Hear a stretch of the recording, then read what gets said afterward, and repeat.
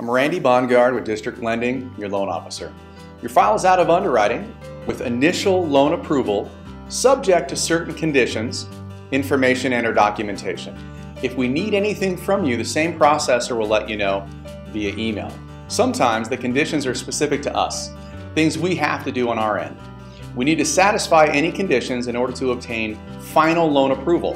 Therefore, please respond to any requests for additional information and or documentation in a timely manner, ideally within 24 hours if possible.